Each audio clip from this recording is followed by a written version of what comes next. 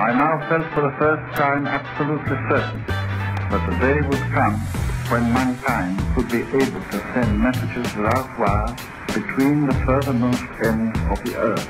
It would be impossible for anyone thinking intelligently not to realize in some degree the vastness of Marconi's work for humanity. His life work was a grand example to us and to all future generations. A little over a century ago, for the first time the world went wireless.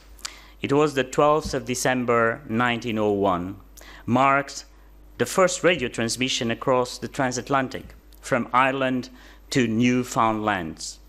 Not only was this remarkable as a technical achievement, but it led to the emerging of entirely new companies, new markets in radio, television, mobile telephones, and today's app economy. One of these new companies was created by the same man who conducted the first radio transmissions. He was a great example of an innovator. And you know that I'm always passionate about the background of the people that changed the world. And if you look at Marconi, Guglielmo Marconi, he was really at the intersections. He was at the intersection of countries. The father was Italian and the mother was Irish and Scottish, as they say. He was at the intersection of religions. He was born Catholic, but he was raised as Anglican. And he was also a cross in between being a scientist and a tinkerer. He liked really to work with his hands and to make things happen. A true innovator. So it's really a great honor to be here today giving this lecture in honor of this man, Guglielmo Marconi. So today what I'd like to do was basically to introduce to you two major initiatives that I've been championing for so long. These initiatives are part of the Commission's Startup and Scale Up initiative that was published last week. And both initiatives respond directly to recommendations in the Digital Forum report by Paul and Sergey.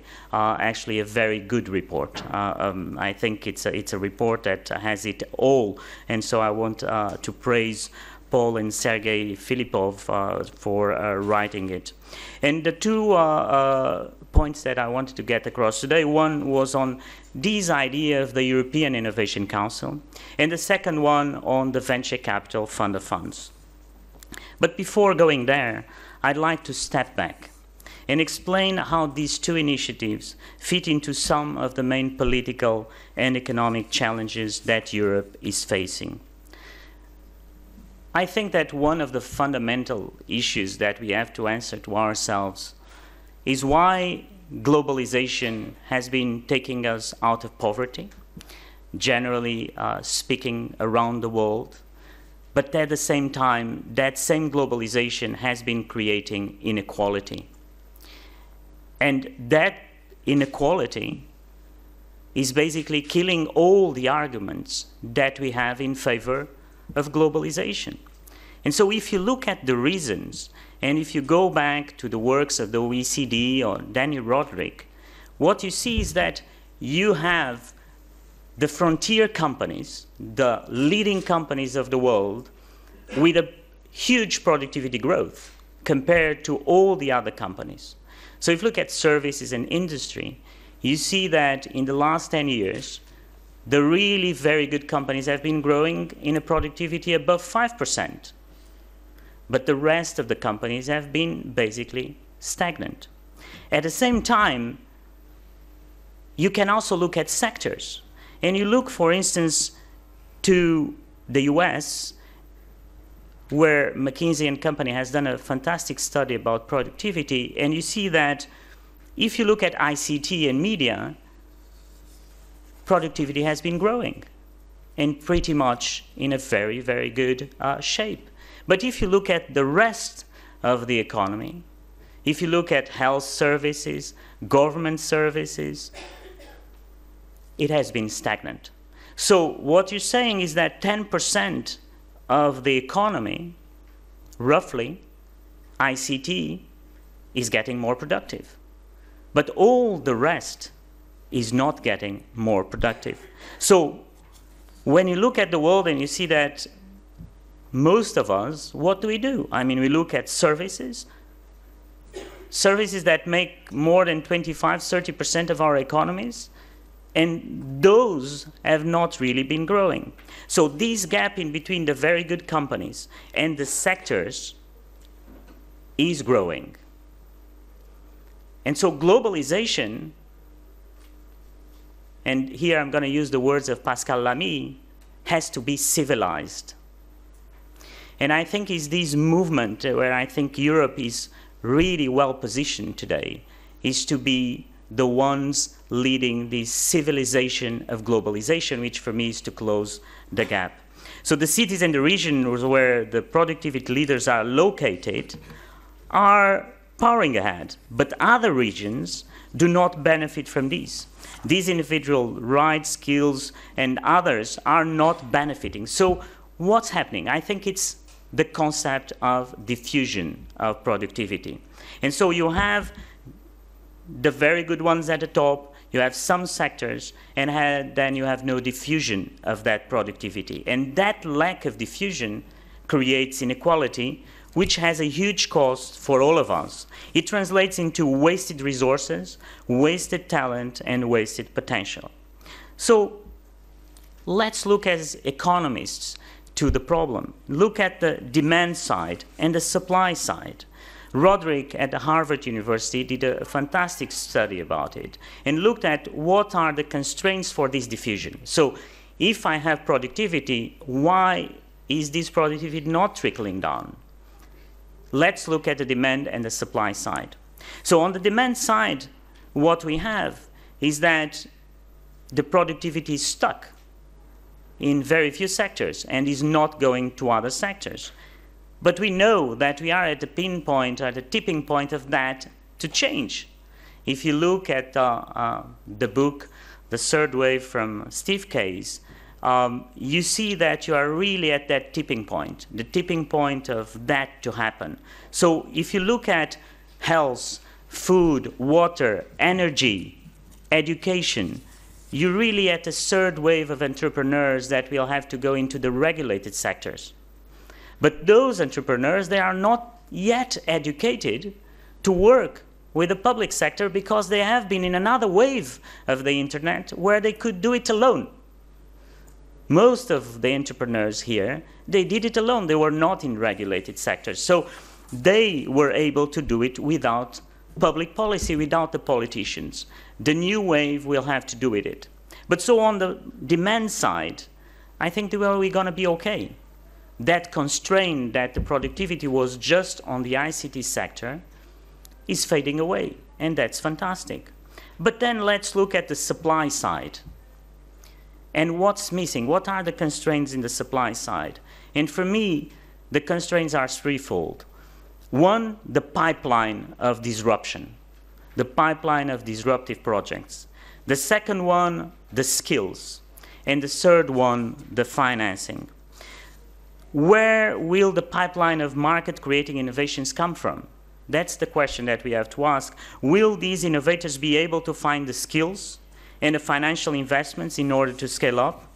Those are the questions. So Europe does not have a good track record at market creating innovation. And here I'm using on purpose the word market creating innovation, and I'm not using disruptive innovation. Clayton Christensen always says this is about innovation that creates new markets, that creates new jobs, that creates really the future. And that's why sometimes we get in this discussion about the jobs and innovation, because there's very, various types of innovation. So what can we do? And if I look at Horizon 2020, I see we've done a pretty good job at incremental innovation. And we have been financing a lot of incremental innovation, but we do not focus on market creating innovation. And the new generation of startups and fast growing companies not really, most of them don't know about Horizon 2020. So the idea of the European Innovation Council was to champion market creating innovation.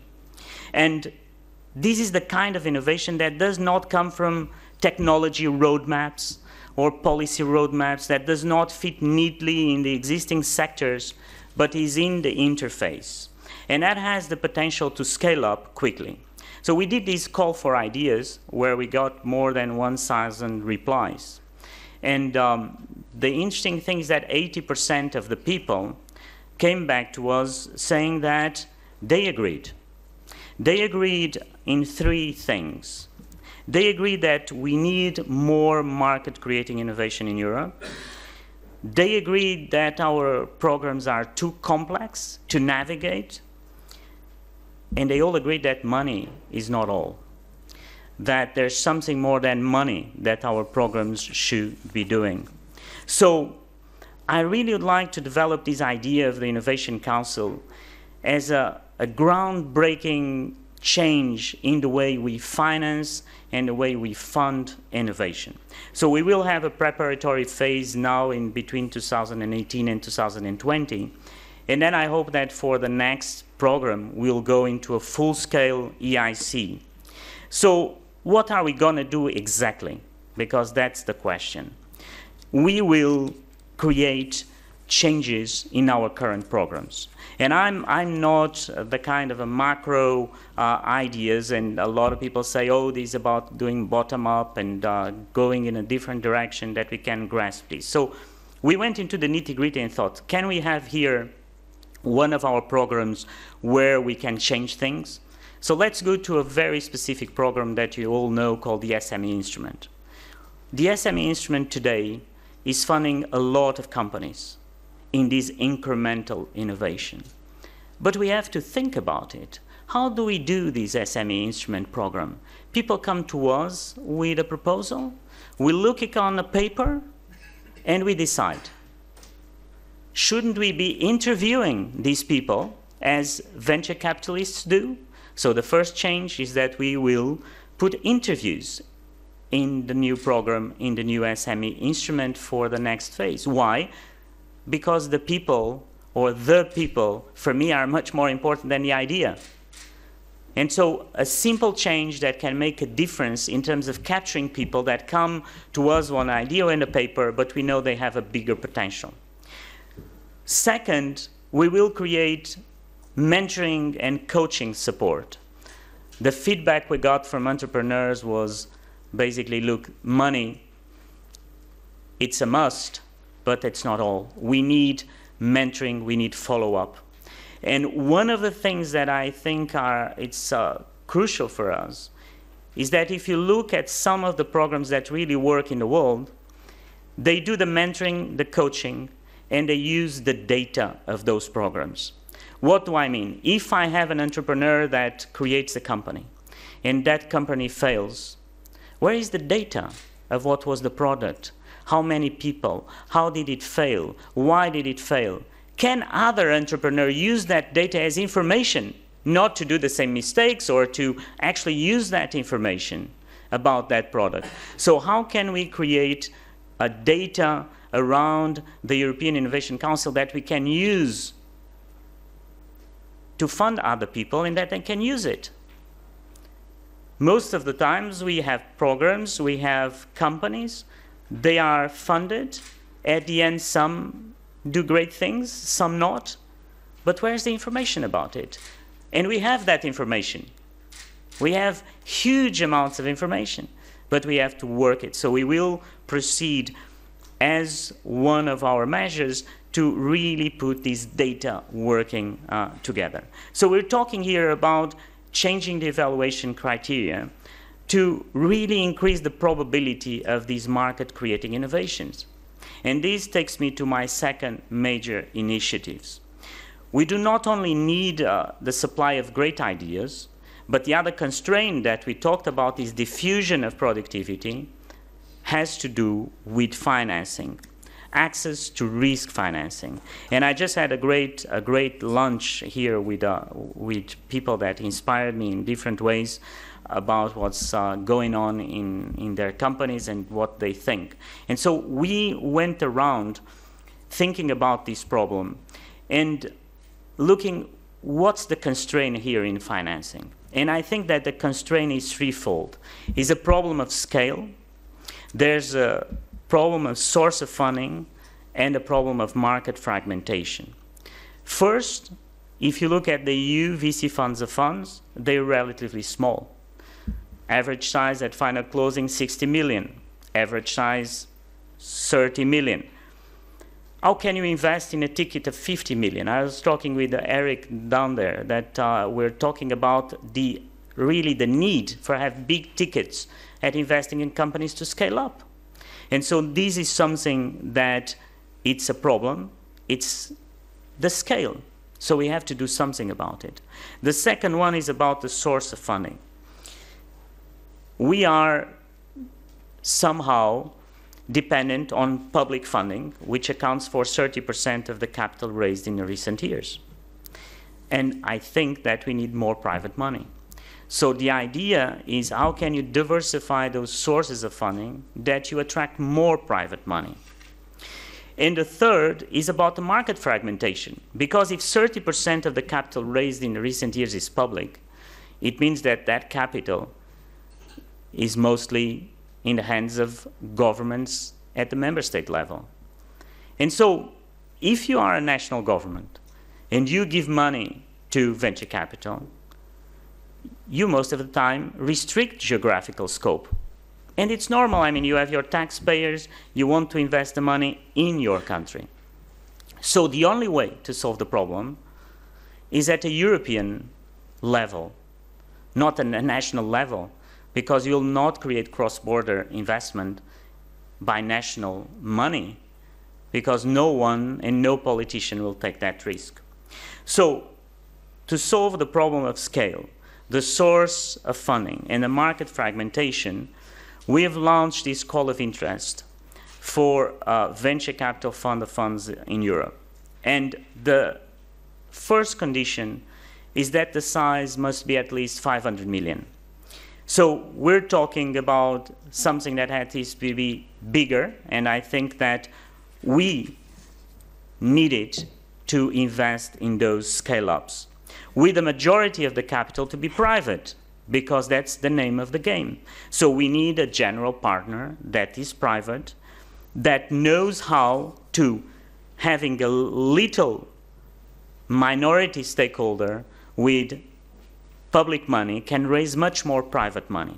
So we are available to put up to 300 million uh, in each of the selected funds to a maximum 400 million. But because we want to be capped at 25% as a shareholder, that would imply a 1.6 billion uh, fund or funds, but that will help us to get off the ground to a level that it will be very different from what we have now.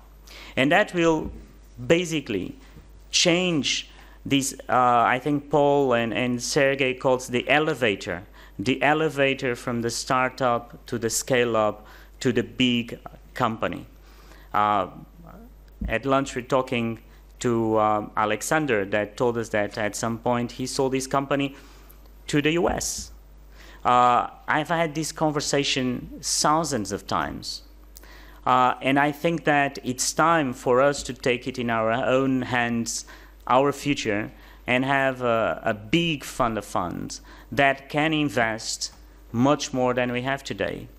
And this is, for me, essential. So we have put this deadline of the 31st of January. Uh, and so this is time for uh, all the general partners and private investors to step up. So ladies and gentlemen, I often said that the world, the world of innovation is changing. And we're entering in an era of open innovation.